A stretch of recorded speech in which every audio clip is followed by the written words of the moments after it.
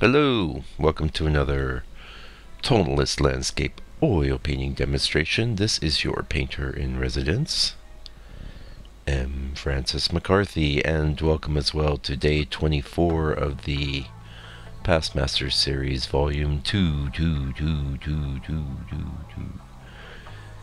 2. Um, the painting I'm doing a study after today is by, uh, was by uh, Camille Corot. I'm just calling it evening. It's um, he he was pretty good about titling his work, so I'm sure it has some big long French title, um, which I would be shortening anyway. So uh, actually, this is take two because I had to um, take two of the audio for this video. Uh, I had to sneeze. I spared you that. But if you hear a few sniffles, just let it go, man. Just let it go. Okay. Anyway, um, I was mentioning that there's a site on the interwebs that uh, catalogs all of Camille Corot's uh, paintings, and um, it's kind of an older site though, so there's very small little thumbnails, especially on my my big uh, monitor, and uh, uh, I can almost never find um, an actual painting I'm going after there, looking for the title. Um, and this is exacerbated by the fact that Camille was very prolific, and also he worked with a very consistent sort of color palette. It's all very silver, silvery and pearlescent. Some sometimes he went warm and sometimes he went cool, but he also had a very consistent approach to his composition as well. And um, uh, in a lot of ways, I feel like uh, Camille's a kindred spirit. I, we have some, we, we diverge on technique, um, and his technique is is amazing. I'm not trying to say mine's better. I think his technique is is actually amazing, and I've seen it in real life at the Louvre in Paris. There's a lot of uh, Camille Corot paintings there, and uh, he gets this, this, this silvery, airish quality in his work that's just you know uh, was uh, when he when he first uh, accomplished this was a major uh, evolution in landscape painting, and it's still you know hasn't really been um, topped. Certain aspects of his uh, approach have not been topped by any modern painter. Um, so he's a good guy to study uh, study from if you are a modern painter, uh, because you can get you can get a lot of um, insight from uh, making uh, studies after his work that would would apply to modern painting, modern landscape painting, I should say. Now here comes one of those sniffles I was going to warn you about. Okay, right. Like I said, I spared you the sneeze. Um, now, this is the the last past masters I actually have in the can. All the prep work's been done. There are three um, really good ones in the studio, just waiting photography, and they've been waiting a while because, um, as I've indicated, uh, I, I I do a lot of juggling with my what I want to call it free time because it's not really uh, I have a um, in the studio painting practice that I do six days a week. Although God knows sometimes very little painting seems to get done there. But pardon me for the the other sniffle. Um,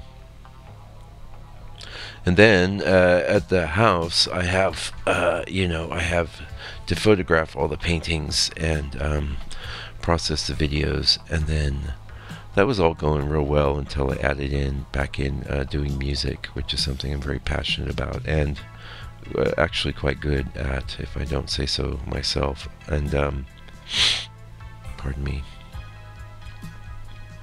Since I added the music in uh, a little over a year ago, it's I've just been behind the eight ball. And you've heard it, so I won't keep belaboring it. But suffice to say, this week I will uh, I will break out the camera and um, and I'll get I'll get busy. I'll get cracking on that uh, because uh, you know I've got I've got three more, so that would be three weeks, and that might be enough time for me to actually get into a few more master studies.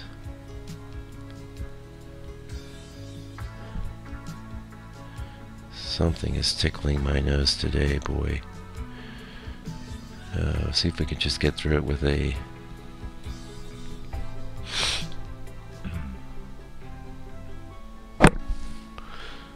I may I may be able to chop that out in post processing. Yay.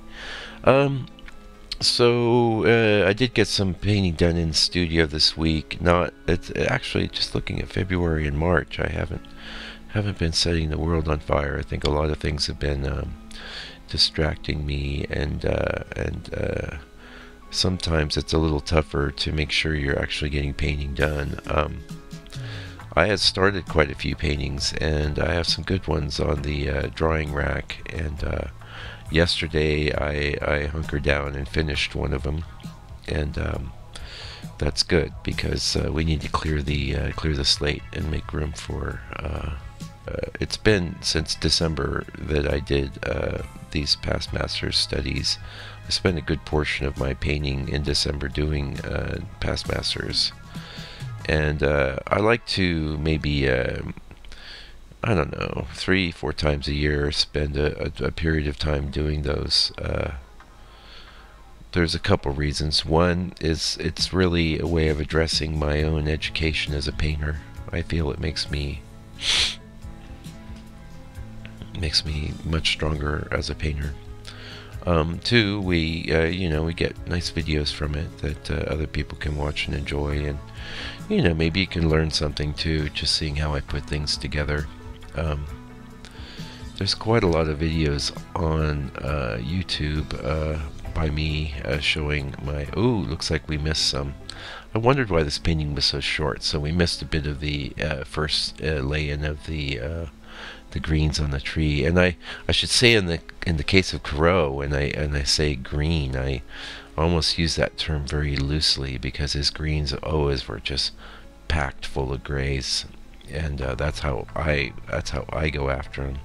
I pack them full of grays, and I pack them full of. Um, I tend to use a lot like the transparent earth yellow uh, when I'm working with him because it's kind of a working after, you know, going after a copy of a, a Corot. Um, but also I have that gray mixture on my palette. Uh, use a bit of that and um, Mike's Green. So Mike's Green being uh, Hansa Yellow Medium from, from Gamblin and uh, black. Um, and then I will just start adding gray to that and then a lot of times I'll modify that with a uh, like raw umber. And I think raw umber would be a totally critical color for getting a Camille Corot type of look. Keep in mind with Corot that um, he's a pre-impressionist. Apologize for the sniffles here but I did avoid the second sneeze so I spared you that. Um, he's a pre-impressionist, so a lot of the work he's doing is prior to the uh, the um, innovation that came about with uh, color pigments in the mid uh, the mid 18 1800s. Uh, uh, where suddenly a lot of pigments that were much brighter and um, intense um, became available to artists to use, and this is one of the things people aren't aware of that really sparked and uh, created the Impressionist movement in art. Um, the other thing um, that was contributed to Impressionism was was Camille Corot and his uh, and his um, advancement of the approach to uh, uh landscape painting in that there's a diffusion of detail um, and a movement of air into the scene that is really pretty revolutionary. Uh, and his work bears, um, you know, some real close examination by anybody that wants to be a landscape painter. And there's quite a few books uh, available about his work. I I haven't bought anything new, but I'm always finding. Um, I'm always finding um, books in used bookstores and things because he's one of these guys that you know is known. So that's good. I mean, so many of the artists that I really dig, uh, There's nothing out there about him. There's almost nothing. Francis Murphy being a great example. You know, Francis Murphy was referred to as the Corot of the United States. Although, you know, when you look at what he would do with color, not really, you know, not at all. But the things they had in common, they had some compositional approaches in common for sure. And also, sometimes Murphy could be really good at getting that air in the trees kind of feeling as well. Yeah, although I don't think it was a priority to him. And when you look at a Corot painting in real life, you'll see that he accomplishes this with a multitude of very small strokes that are, um, you know, where he varies the color from the sky color or the tree color, colors that would represent branches and things, and it's almost a pointillist kind of approach, except instead of dots, they're like little um, arrow pointed kind of long rice grains, I would say fat. Think fat tapered rice grains. I apologize again for the sniffling, folks. I I would stop and pause the audio, but uh, you know we might not even get this done.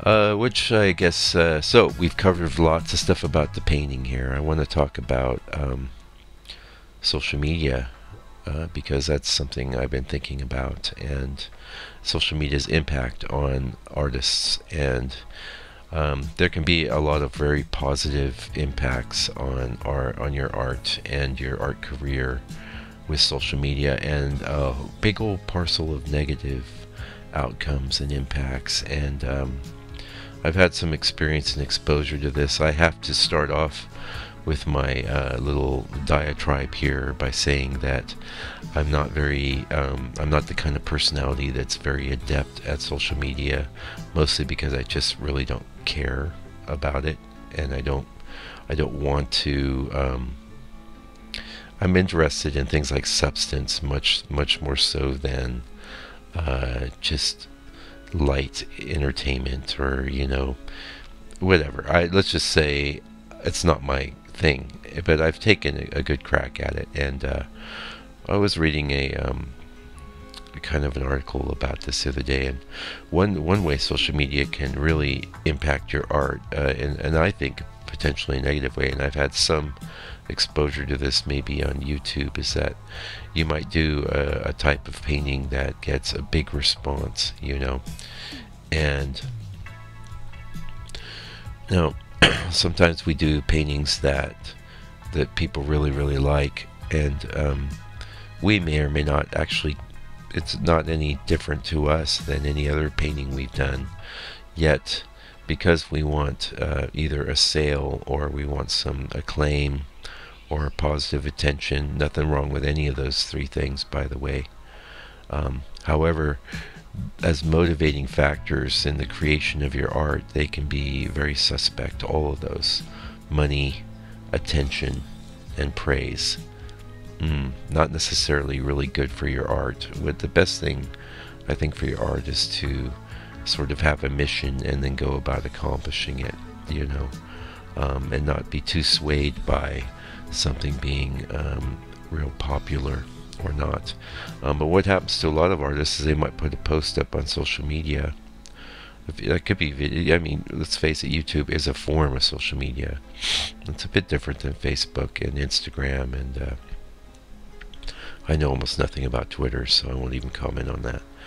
But um, I've been on those other two platforms, and you know, you put something up, it gets a big response. You know, it's natural human nature to go, wow, wow, maybe I should be doing more of those, like uh, the storm uh, scene with the lightning hitting the cow.